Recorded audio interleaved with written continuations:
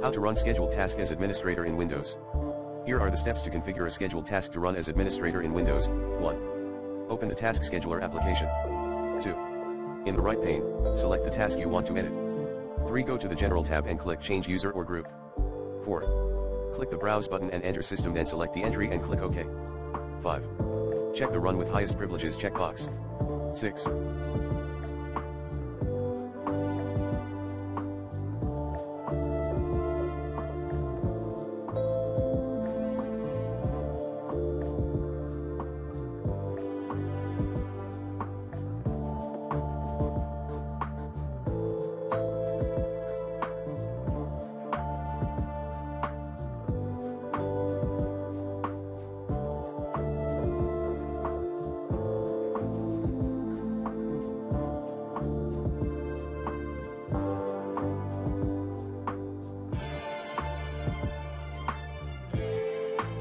Click OK to apply the changes.